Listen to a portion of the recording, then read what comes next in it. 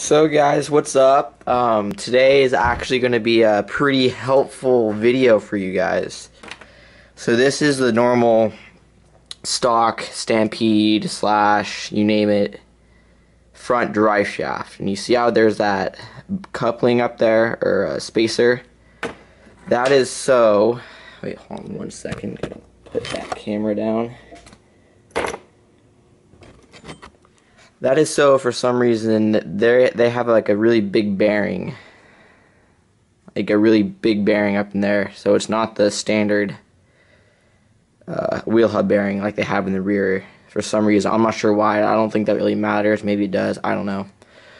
But they're just like an off-brand eBay axle. They're steel. That's why I bought them is because they're steel. A little bit of rust right there on the spline.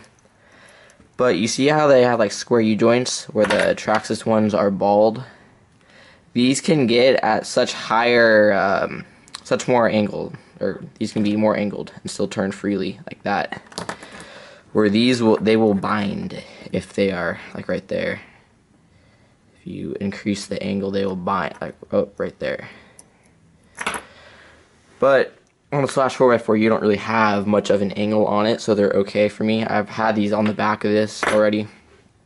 But today we are actually going to be putting these on the front and that's what this whole video is about. This will work for any axle any axle that has uh, the stock I guess you could say shaft for the wheel hub sub axle it'll work for any axle, it'll work for MIPs, it'll work for the stock ones. You, I'm not sure why you would do that, but if I don't recommend doing this if you have the funds to go out and buy X duties or something. I'm doing this because I don't want to spend the money again. I already spent it here, so I could go out and buy them. I have money to do it. I just don't really want to because that's another $50, 60 dollar item.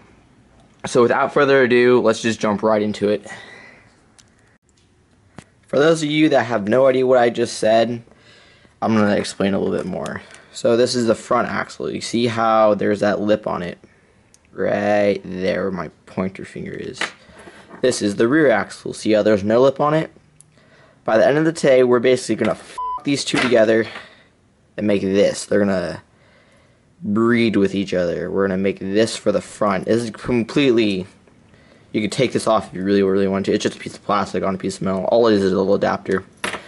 But I'm just going to show you the steps through that.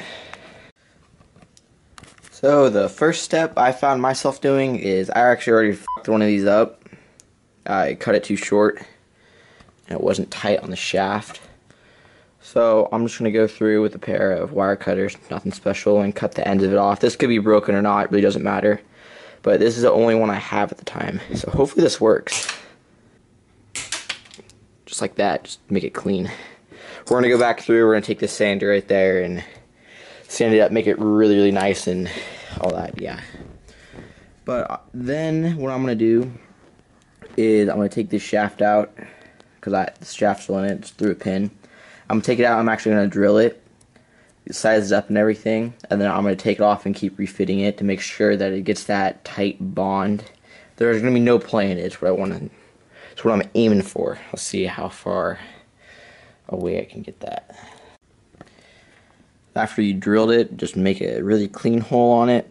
And then we're going to test fit it on the shaft, see if it needs to be drilled out one or just need to round it up on the drill bit a little bit. So I just drilled the plastic washer, or whatever you want to call it, the spacer. Come on, you piece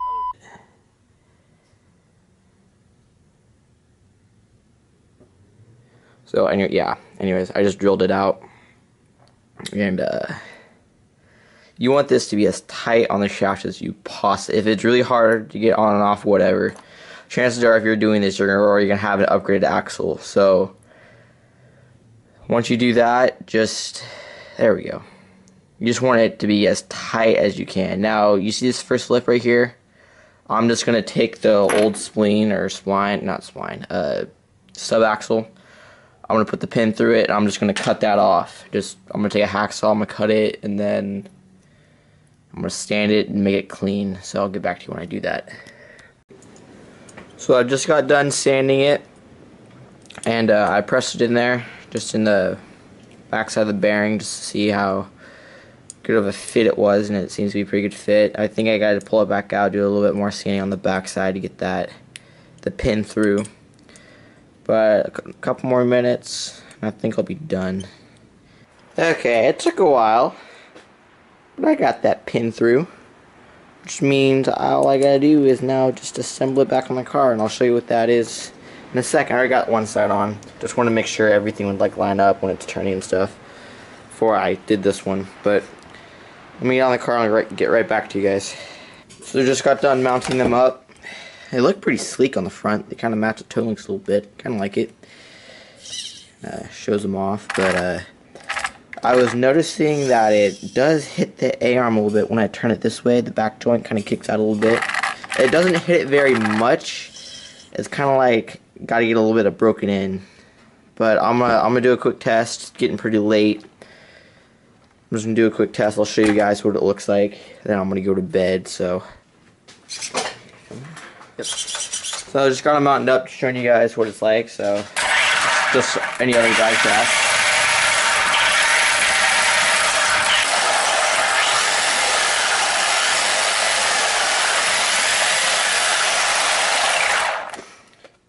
So you can see a little bit where they were hitting right. Let me get a flashlight. Whoa.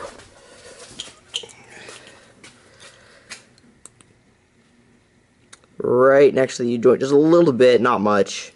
It's like a little breaking thing, but I'd much rather have a little bit of wear on the A-arm than spend 60 bucks on X-Duties. But, you know, just, I would have done the money if I didn't already have these, but looks pretty good. I might rock it for a little bit until I break a U-joint or something, which will happen. Anyways, thank you guys for watching. Stay tuned for more videos like this, just tips, running videos, reviews, etc. Make sure to like, comment, and subscribe. Hopefully see you guys in the future. See you later.